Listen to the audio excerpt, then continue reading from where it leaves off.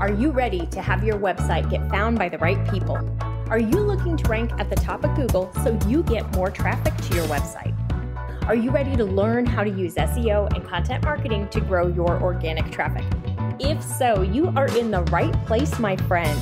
Welcome to the Simple SEO Content Podcast where I show you how to combine the power of SEO, search engine optimization, and content marketing to build your like, know, and trust factor with your audience, which allows you to get found by the right people and turn those visitors into buyers.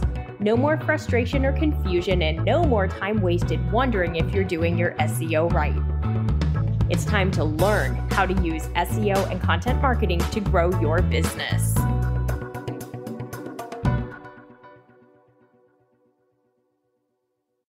Hi, my friend. Welcome back to Simple Marketing and SEO. Today, I have a quick tip, quick SEO training for you. I want to talk about title tags. What is an SEO title tag? How do you write one? Where does the keyword go? what the heck am I doing with it? Because I've gotten some questions from you about SEO and title tags and keywords, and you're not quite sure what to do with them, who to write them for, what they look like, where they go, any of that. So let's jump in and talk about it. I'm your host, Rachel Lindhagen, and I'm so glad to have you here with me today.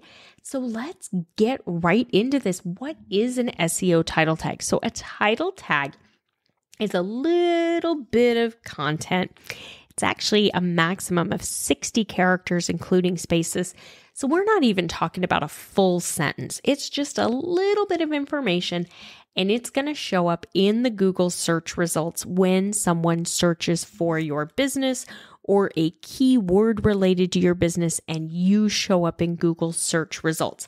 Your title tag is going to probably be the first thing that they see when they're trying to decide whether or not they're going to click through to even come visit your website. So it's really important, but it's also one of your SEO elements that Google is going to look at, which means we need to write this for your ideal customer, but make sure that it follows Google's best practices and Google's rules. Because if it doesn't, Google's not going to display it the way that you want it to be displayed. And then you're going to be at the mercy of the search engine to determine how they show your website to other people. And that's not necessarily a good thing. So, like I said, your title tag is a maximum of 60 characters, and that does include spaces. That's not a lot of room to work with. It's less than a sentence. It's, you know, maybe one sentence. This is not 60 words. This is 60 spaces, 60 characters, including spaces. It's not much to work with. It should include your keyword. Ideally, it should also include your business name if there's enough room to do that in that 60 character limit. Now, if you can include a call to action term, learn, discover, find out, shop, try, something like that, we've actually seen up to a 30% increase in the click through rate, meaning three out of 10 more people click on a listing that has that call to action or that action verb at the beginning of the title tag than one that does not. So that's really interesting. If you can fit that call to action term in there, it's a really good thing to do. There are two different ways that you can format a title tag. You can write it in sentence format where it's just got your keyword, your business name, maybe your call to action term, and it's in a sentence. Shop blue shoes at shoes.com would be an example of that.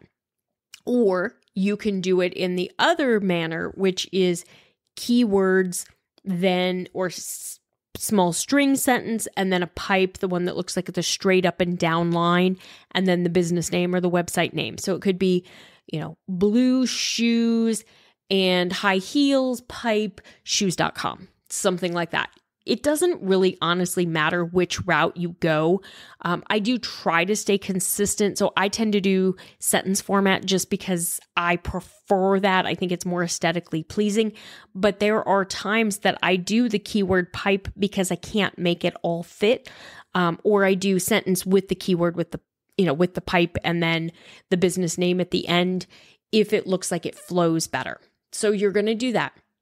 You're going to have researched a SEO keyword that you're going to use for your title tag, and you're going to use that keyword in it.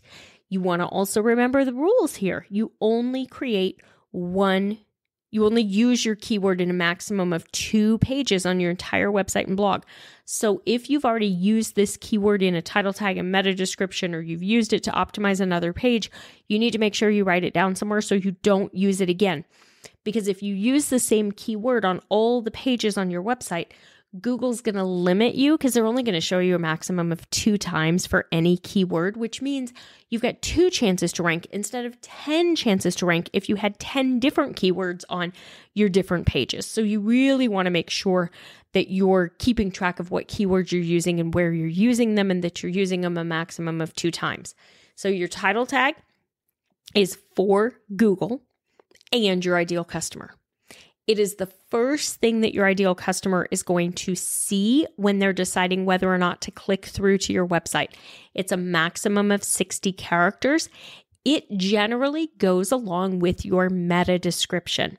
Your meta description is the next piece of information that your ideal customer or Google are going to look at and your meta description is going to again include your business name and your keyword and be a maximum of 160 characters. So start with your title tag. Once you have a title tag that you feel good about, go ahead and write a meta description as well.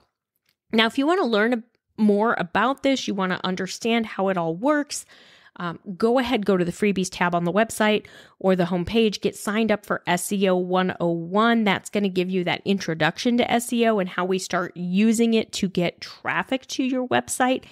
And then make sure you're taking simple SEO content.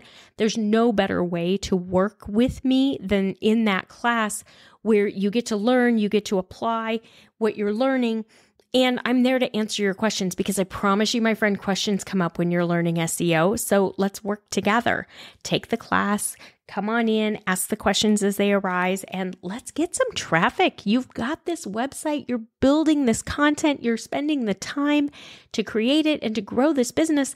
You, my friend, need to do SEO on your website. Your website and your content deserve for you to do the SEO and do it the right way so that more people see your content. Until you do SEO, you might as well not have a website because nobody's going to see it. 90% of all the website pages out there do not get traffic from Google.